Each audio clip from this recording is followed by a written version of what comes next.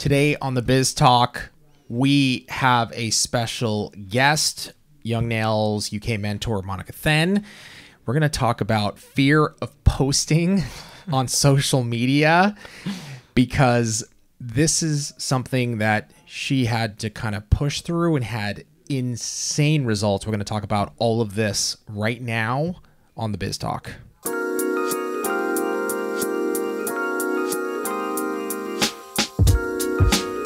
Monika, thank you for joining us today. I know it's a little insane here. We have been pulling equipment out left and right. It's a com- what you don't see is that it's a complete disaster behind the scenes. Am I right or am I wrong?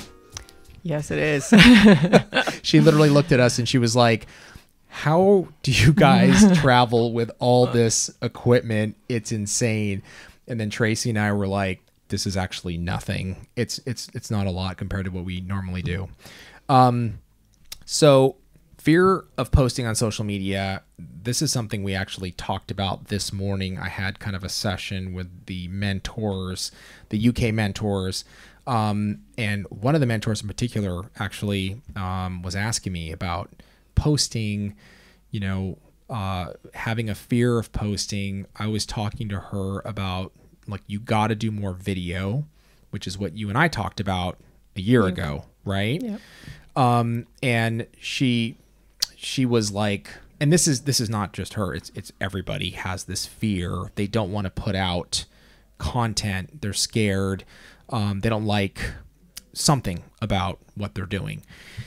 One year ago, I had a conversation with Monika about Instagram, and I was telling her video is hot right now. Like, get on video and just start posting. And I swear to God, normally when I say that, I don't expect somebody to do it.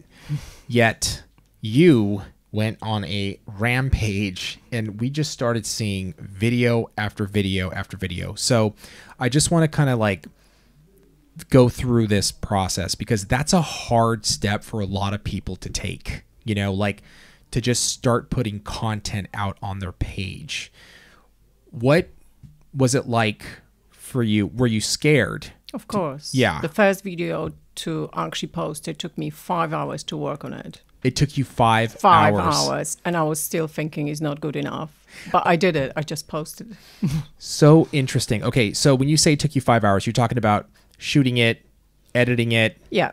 All of that, what you need to do before you're going to. Now I can do it in a few minutes, but Yeah, in was the five beginning- hours to kind of work it out. What is what? How do you put these things together? How do you remove the voice if you don't want it there? Right. Or Put you know what I mean? music if you want to add music yeah, to it. if you want to add music on it, or if you want to make it shorter or speed up some parts. Yeah. It was just everything new for me. yeah. So you, how did you learn? Did you go onto YouTube and say how to create a video? Like, Um, what was the process here? I just tested few of the apps which I've downloaded and took me probably my daughter could do it faster but it was everything new so Okay, i yeah, did sure. go on youtube as well watch what people do i was watching what you guys doing Sure. trying to see if i can do similar things and yeah basically everything from scratch starting from zero From zero, yeah. So, what piece of equipment? Let's start with this. What piece of equipment did you use to start posting videos? my phone Okay, only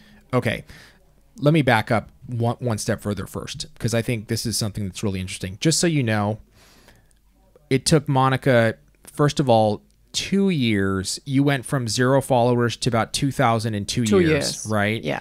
And then this last year, from from her starting posting and getting aggressive, she went. You went from 2,000, and you're almost at 20,000 now, Yeah. right? Yeah. So that's 18,000 followers in a year. That is a massive, going from two to 20 is a massive jump. So it just, it went crazy. So I, I want to say that because I want you to have a reference of like what, what she accomplished, you know, like in, in terms of like followers, things happened. Her Instagram account really kind of blew up and, and went crazy. So I just want to put that out there. Okay. So you just used your phone. That was your basic piece of equipment. yeah And were you like, initially thinking I need to get a whole camera setup, or were you just like I just got to start doing this? No, I just need to start doing this now. Yeah, yeah. Literally now. Like Need to get home and doing it. Oh my god, you are my favorite person in the whole world because that is exactly what you have to do. It's it is that it's extremely hard, but it's that simple, It is right? simple, yeah. It's that simple. It's you just got to start doing it. So you grabbed your phone, it took you 5 hours. How long did it take you? Were you like staring at it before you hit the post button or you just like let it rip? No, I just knew that I need to post it something first and see if it's working or not. And I did it after five hours working on it. I just posted and it worked. So I said like, okay, I need to do it again and Yeah. again and again. But yeah, on the beginning, when I've started Instagram or any social media, my posting was like, I'm just gonna do it today and maybe tomorrow, maybe two or three times a week yeah. And that doesn't work. It needs to be there all the time. So Right. I think you need to be super organized and just get your extra time to do your social media Yeah. as is part of my work. Yeah, that's a great mentality. Um, and I can completely relate with you because that's exactly how we go about it at Young Nails. It is a very important piece of um, our our work. You know, it's not just manufacturing nail products. Obviously, that's huge, but it's literally as important as shipping products out the door are for us uh, social media and creating content is also extremely a huge part of our business because that's marketing. That's what we do. So, okay. So you went home. I'm going to do this now. God, you don't know how much I love that. I'm, I'm serious. Like, I'm going to tell this story. I'm glad we're, we're doing a podcast on this because I can reference this video to people. Go watch this because this is what she did with her phone. Just like, and, and you, you executed on it. So you did that. When was the next time you did another video? Was it like maybe Next day. amazing?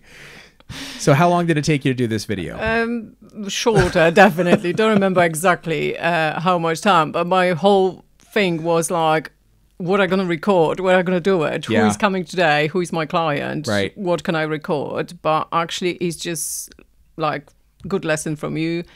If we have any good information for people to give it to them, it doesn't matter what is it. Doesn't need to be super complicated because that's what I was thinking long time ago. Like I can't really record any video because that will take me forever. I need to think how creative I need to be, what needs to be there. But it's a lot of people which they want to do just the basic and Yeah. the very simple stuff. But and I think that how it works. yeah. So, so basically creating content, what you're, what you're ultimately saying is like through this experience of, of posting, like it's, it's just putting out good, solid information, no matter how simple it might be. Yeah. Correct? Like you don't have to like, let me sculpt out this amazing set of three inch stilettos with marbleizing ombres and 3D, 3D flowers. flowers. yeah, right. It doesn't need to be that because in a, in a everyday work, we're not doing that kind of nails. It's basically salon work is different. People have different expectation, and they want to, and also like students which they want to learn how to do nails. They want simple informations, and everything is important. Like you know, to do a good set of nails, everything is important. Starting from hygiene to going to the finish, and I don't know, through uh, all the single Right. So so the the the quote unquote boring stuff, right? Like prep, you know, removing shine, pushing back cuticles, getting around the cuticles. That's all vital to a set of nails um, holding up, correct? Yeah. yeah. So that's all basically content that you can use, um, that you can create and, and make short videos. I, I'm always saying like content is it's it's either good education or good entertainment you know one way or another. It's it's got to be entertaining or it's got to be education some way shape or form. And that's what you're saying. Like education is like from prepping the nail to picking up acrylic pearl to um, building the body the the upper arch filing, Yeah. all of it is Yeah. good information, correct? Yeah. And so, what types of videos were you making?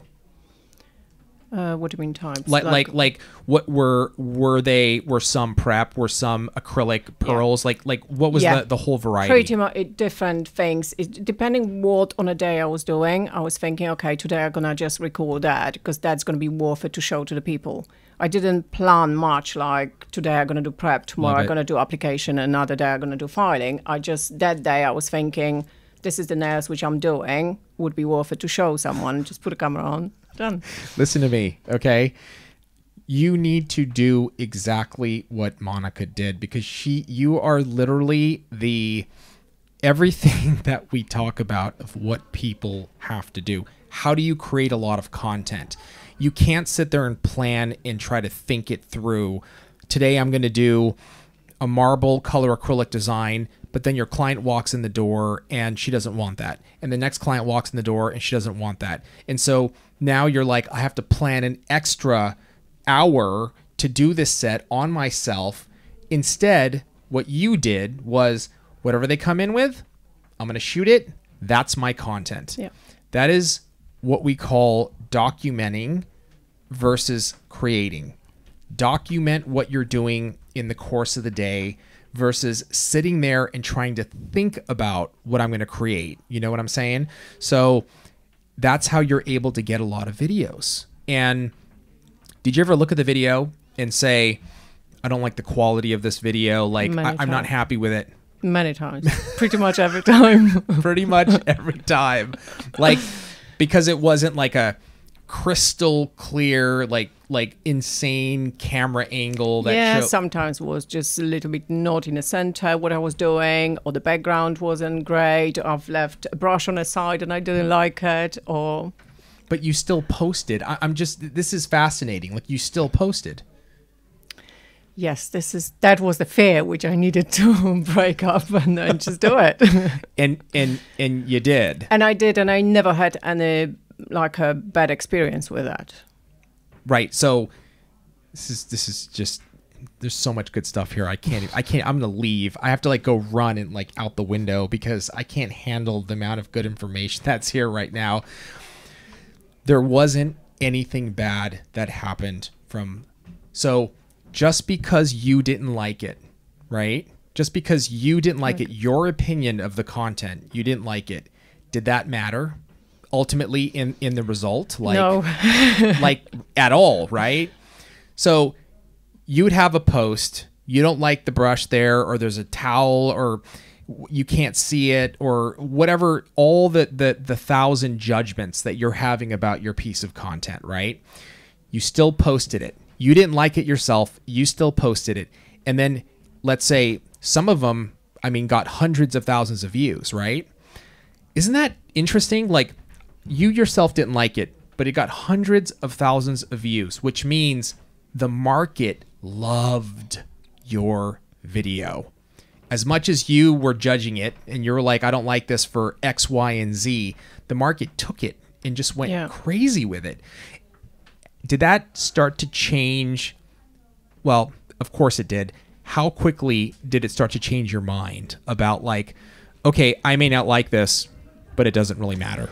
Yeah, I did have video where someone, for example, comments saying it's not in a center, you've done it wrong or something. Yeah, yeah, but yeah. that doesn't put you off when you're seeing the number of people who've watched that and comment the, re- Right. the rest of the comments saying, "Great, thanks for this," or you know, "This is something what I needed. I never thought about this," or anything like it. So never kind of put me off, which is very strange because I was afraid to post anything. Right. And then when it happened and a lot of people liked the content, even though you got some negative comments of maybe stuff Yeah. you were thinking, right? Yeah. Like, oh, it's not in the center. You were maybe thinking that initially. And then you saw somebody say it. You're like, mm, you know what? Whatever. It doesn't matter because Well- people are getting something out of this. Yeah.